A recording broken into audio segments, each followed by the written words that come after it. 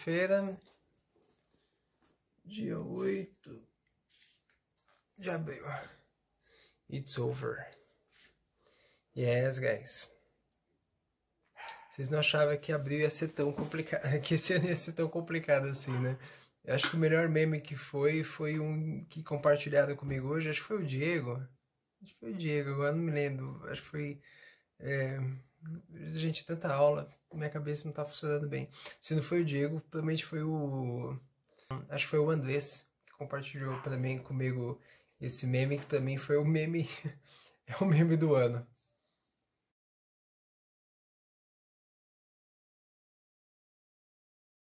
Vou deixar vocês com essa visão bonita aqui da minha lavanderia. Que legal. Então, hoje uma mensagem aí, gente, para quem é professor de inglês novo online, né? E tá conhecendo agora tudo isso. Eu já trabalho há pelo menos uns dois anos aí online. Minha vida já é um pouco meio quarentena já. Já, para mim o meu meme já seria outro.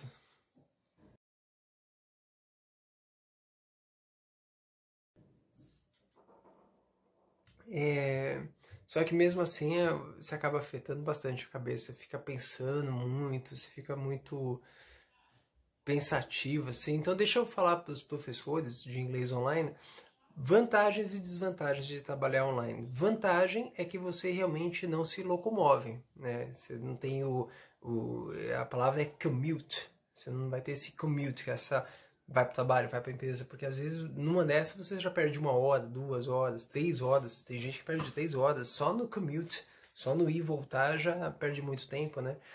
É, essa é uma vantagem, você não perde, acabou uma aula, você já começa outra, já começa outra, então você consegue dar mais aulas, né?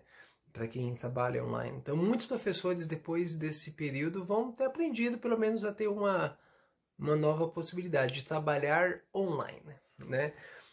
Mas qualquer desvantagem, não sei, deixa eu contar pelo menos como foi meu dia hoje. Hoje eu acordei 7 horas, mais ou menos 7 horas, e aí eu tive aula 8, depois eu tive aulas 9, depois eu tive aulas 10, depois eu tive aulas 11, depois eu tive aula meio-dia, aí depois eu tinha uma aula marcada para as duas, meu almoço só chegou tipo 1h40, tive que almoçar rapidinho para para entrar às duas horas, então tive mais um intervalinho. Depois eu tive aula às três. Aí a minha aluna, Viviane, ela não pôde ter aula, ela desmarcou. E é, só que o gap que eu tive da aula dela, aí eu já fiz uma reunião com o pessoal para tentar ajudar o pessoal é, da escola, né, para dar situações, né, posição para alunos, pais de alunos, né. Tá todo mundo muito muito, muito vivo, gente, nesse período de, de aulas online. Então tem gente que está compreensivo com a situação e tem gente que hum, talvez tá pressão de tudo é lado, né? Então a pessoa acaba não entendendo 100% que essa situação não depende de uma pessoa, depende, tá, tá no planeta todo. Então, easy, guys, easy, easy. Você é pai de aluno, take it easy. Calma, vai dar tudo certo, ok? É, mas é uma situação provisória, paliativa, que todo mundo está tendo que passar, né? Então, tem muito o que fazer, né, gente? Então, é, acho que eu fico mais preocupado não só pelas minhas aulas online, eu fico preocupado pela, pela situação offline. Então, às vezes eu estou em aula, mas minha cabeça está numa situação que preciso resolver e eu tento me concentrar o máximo possível. Cada um tenta um jeito principal de se concentrar. E eu consigo me concentrar deixando alguma coisa ligada que eu já assisti mil vezes, algum filme, deixo Pulp Fiction, ou deixo Matrix, então, tipo, eu não preciso assistir, não preciso prestar atenção, mas alguma coisa no, na minha cabeça fala assim, tá tudo ok, tá tudo aqui, né? Acho que por isso que eu gosto de sempre assistir muito Friends, eu não tô assistindo, talvez só no final do ano vou fazer de novo maratona do Friends, mas sempre de anos e anos eu faço a maratona do Friends como uma forma de lembrar, para mim, é, tá tudo aqui, tá tudo bem, vai dar tudo, vai dar certo, sabe?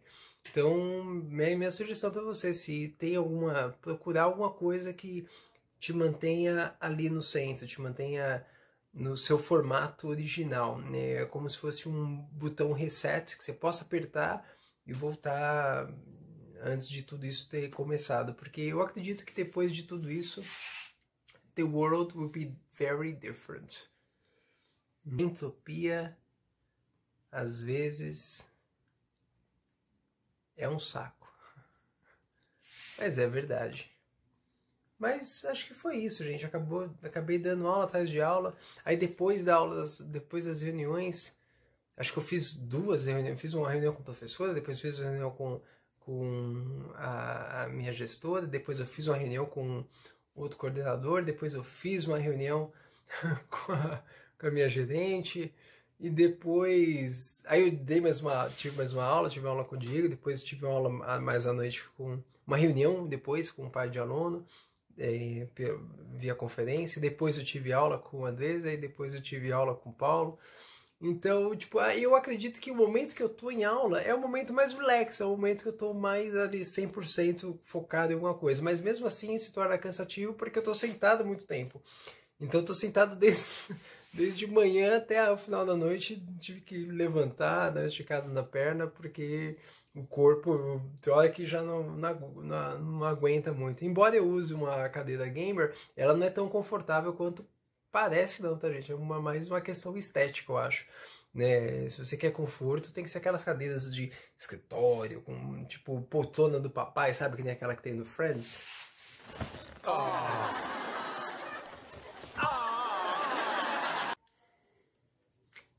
É, gente, então é isso, gente. É One More Day is Over.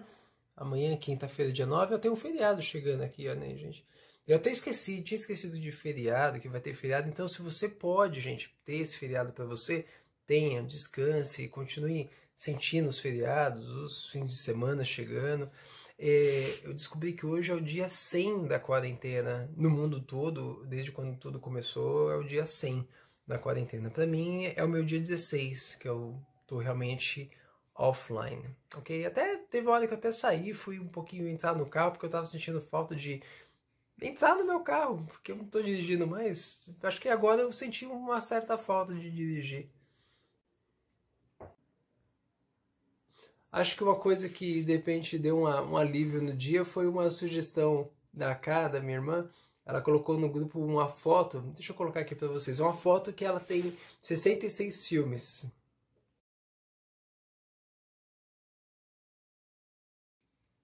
Se eu lembrar, eu deixo a foto aqui embaixo aqui. É, e lá nos comentários eu deixo um link para a foto. E aí a brincadeira é você ficar tentando ver quais são os 66 filmes que tá nessa foto. Então acho que isso até deu um cool off, cara. Obrigado. Porque deu uma.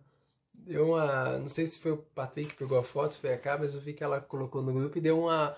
Um, eu descobri que eu sou muito nerd, gente. Quando eu vejo filme, eu sinto meu coração se acalma muito, eu fico muito mais em paz, fico se eu pudesse realmente, eu tô tentando trabalhar muito mais, mas se eu pudesse eu ficava só assistindo filme o dia todo, se eu pudesse. Então eu descobri que eu sou muito mais nerd do que parece. Então, acho que isso deu um acalento. Tenta você ir ver, tentar procurar, ó, tipo, vou colocar, vou colocar a foto aqui durante 20, 10 segundos. Tenta ver quantos filmes você consegue enxergar.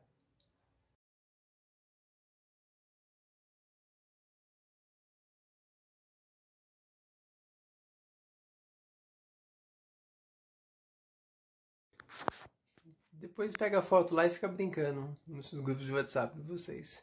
Então acho que a dica principal é tentar não ficar agora pensando, pelo menos essa é a tática que eu vou utilizar, tentar não vou trazer o assunto quarentena, não vou trazer o assunto coronavírus, tentar, eu sei que tá, a situação já está geral, então se informem o necessário de, durante manhã, eu acordo, ligo a televisão, me informo sobre o que está acontecendo, me informei, desligo e põe a mente em outro lugar. Vai pensar em outra coisa, vai pensar em livros, vai pensar em filmes, vai brincar com seus amigos, vai focar no trabalho, mas tentando levar, obedecer os horários do seu trabalho e obedecer fins de semana, feriados, se possível.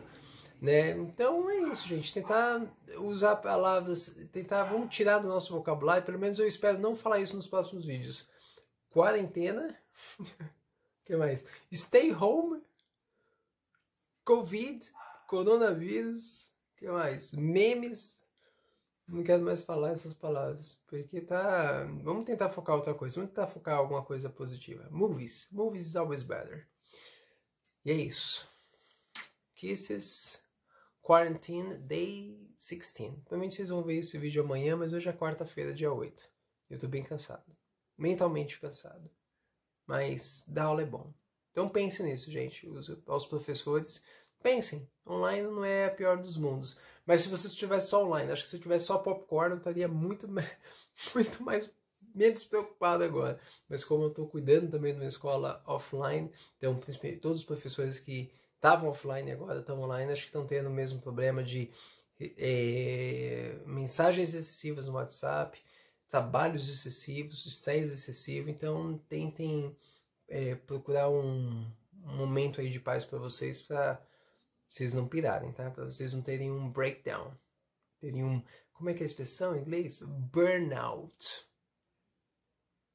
Não tenham um burnout, segurem, vai dar certo, mas try to relax a little bit, ok? Tem um momento certinho de responder as mensagens, tem um momento certo de trabalhar, tem um momento certo de parar de trabalhar. Descansem e assistam esses vídeos aí. Ou não. Assistir outra coisa. Tem tanta coisa boa na internet. Bye. Kisses in your heart, guys.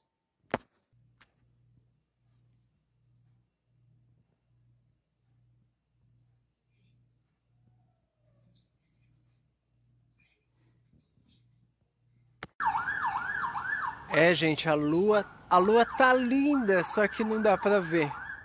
Tem coisas que só no ao vivo mesmo, né? Tá linda demais.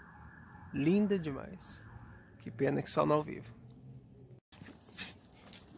E esse aí é o Boris não querendo não querendo sair de casa, gente. Ele querendo voltar para casa, voltar para quarentena. Eu não sei se ele quer passear, não sei o que ele quer, não sei se ele só tá nervoso.